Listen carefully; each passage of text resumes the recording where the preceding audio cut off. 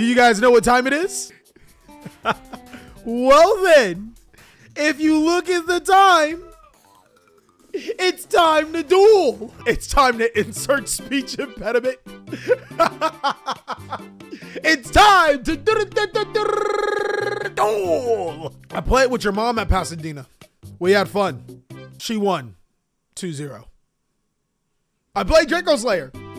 My dog picked Draco Slayer. Oh, you play, you pick Draco Slayer. You pick Draco Slayer. You the reason why I dropped you, piece of. Yes, you are. Now, I didn't lose because I picked Draco Slayer. I lost because I ain't know how to play Draco Slayer. Not to a YCS level. To clap June and GJ up, easy. June and TJ, no problem. But to like actually play out a YCS, nah, dog, wasn't happening. Topic for today, ladies and gentlemen.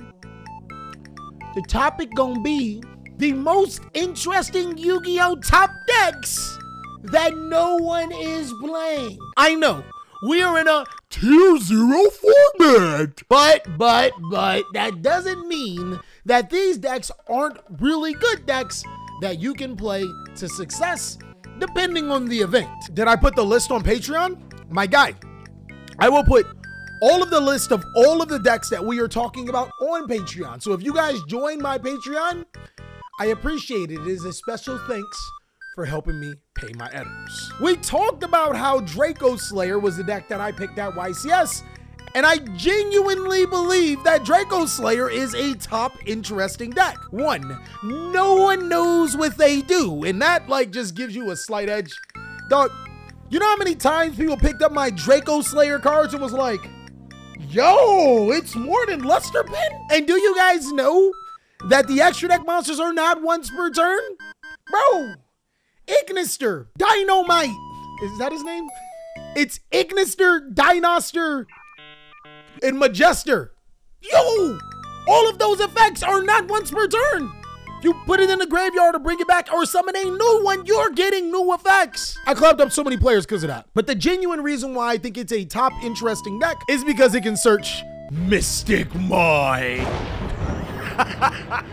you know, last format we were like, ban Mystic Mine, ban Mystic Mine. Now we're like, yo, Mystic Mine. It's uh it's it's definitely acceptable to play it now, right? Tier zero, my friends. Tier zero. Tier zero. We gotta we gotta do whatever we gotta do to win. But no, seriously, it can search Mystic Mine. It can search Secret Village of the Spellcasters. It can search Necro Valley. And Necro Valley is easily like one of the most toxic Yu-Gi-Oh cards for tier limit. Mystic Mine is like a toxic relationship. Yes, and we are gonna keep running back until we get out of this tier zero format. Every time. Oh well, here's Cali's toxic arc again. I'm not toxic, you pizza. Now go play in traffic until you stop being a damn oxygen thief. You guys are right. Kelly taught us how to be toxic. I didn't teach you. I didn't teach you anything. But if you start going around and calling people oxygen thieves, I want full credit. Thoughts on Flu? Flu is a top deck, my guy. Have you seen our tier list? Flu is an S tier deck, unfortunately. Is Drytron dead even with Ben 10 and 3? Dog, you're gonna need Ben 11 to revive that deck. Have you heard of Ben Steals, my friend? Exo Sister, my guy, what do you mean? What is Exo Sister? That means we're related. Now, if you're talking about Exo Stepsister, that means we're not really related. Exo Stepsister. I got something for you. Just uh just open the box. Open the box, Exo Stepsister. It's uh it's, you know, some new shoes. New new Yu-Gi-Oh cards, right? Is the Exo Stepsister stuck in the appliance or laundry dragon? oh the shit. Oh Cali X video stop. Yo, stop giving him my link. Send it to my Patreon first. I'm not gonna lie. Like, seriously, guys, I might just play Exo Sister this format. It's looking better and better every format we come around, and the more tier zero it feels, the better it is. As you already know, the Exo Sister monsters uh, gain effects when your opponent touches the graveyard more than R. Kelly gets touched in prison which uh, apparently is a lot right now. And seeing that Ishizu Tearlament does a lot of graveyard movement, every single one of your Exo Sisters becomes an Exceed monster. Like, yo, they all get stuck in the dryer, right? Also, if you guys are ever following the hint, it can play Necro Valley. Me and Necro Valley, we got a friendship right now, this format. How would I hit a Shizu tier? Well, with this fist first, and then with this fist next. Actually, I I, I definitely do this for a Shizu tier. A, a Shizu. I'm gonna stop. Slide into my DMs for a Gravekeeper's deck list. Oh. Uh, I wanted a Shizu deck list, dog. The Cali Effect XX. My guy, don't put some respect on my name and add another X. Please. I mean, if you guys haven't caught the hint, your your deck needs to be like non-graveyard reliant.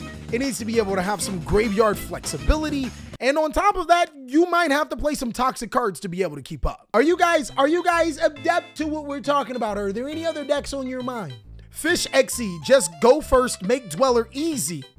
So when do we tell them about um Forbidden Droplet and Herald of Orange Light? It's not that simple. It is never that simple with that damn deck. I wish, but it's not. Fucking Gravity Bind, yo!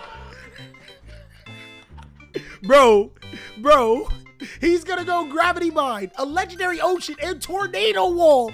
You're not beating his lock. Bugroth F FTK, guys. Watch him. Watch him. Play Crystal Beast with Necro Valley. You know what?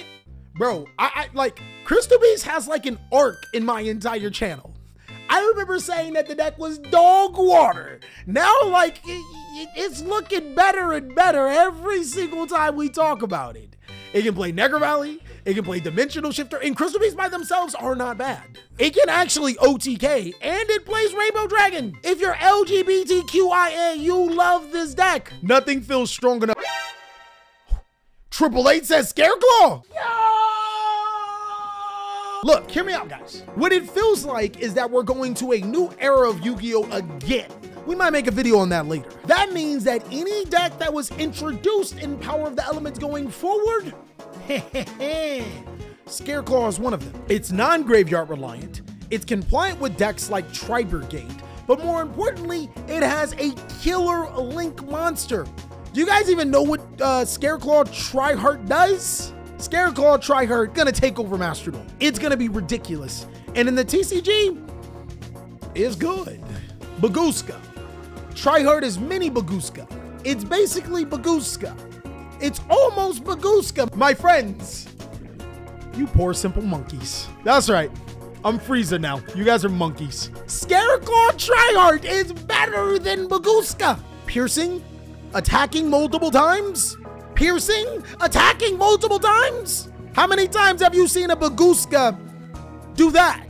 Scareclaw Tri-Heart is a one-hitter quitter. Oh, and it can summon from the graveyard. You know what? Like, it, it, can do that. It can summon monsters from the graveyard. That That's pretty good. Yeah, Bagooska just stalls. Scareclaw Tri-Heart? it is a try-hard Yu-Gi-Oh card. So if Equimax was Bagooska, bro, it really is. It's like Crusadia Equimax meets Bagooska. Now you guys are gonna be hot, excited over this next card that I'm gonna talk to you. Boy, I'm telling you, this deck is better than what people think right now. Y'all got money? Hmm? Chat, did you come with the money? Well, if you got money, use it to get to the next tier. Uh, get it? No one, no one gets it. I did all that and no one got it. Kashtira is a really good deck. Bro, this is not Hopium. It's not Hopium. It, it's slight Hopium. So a lot of people know about Kashtira Fenrir, but what a lot of people don't know about is its big brother. This card's actually ridiculous. Its name is Kashtira Unicorn. Now, Kashtira Unicorn can special summon itself just like Fenrir when you control no monsters, and instead of getting a Kashtira monster, it actually can get a spell or trap. But this is actually which makes Kashtira Unicorn a little bit different and slightly better in certain situations. When this card declares an attack, or when your opponent activates a card effect or monster effect, just like Fenrir, you can look at your opponent's extra deck and banish a card.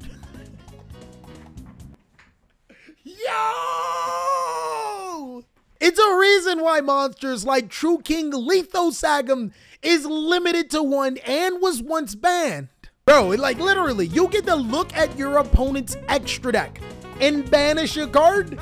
In the spell card, you can search can summon it from the graveyard on top of other Cash Kashtira cards. Bro, Cash Kashtira Unicorn is ridiculously good. Cash Kashtira cards are just Konami's interns custom cards. Yo, bro, bro, you're not wrong. Also, when players are playing that one of extra deck card, I'm not gonna say any names, but um, I'm looking at you, tier limit players. Being able to banish that one important card feels like Ghost Reaper and Winter Cherries. And you guys know how hyped that card is right now.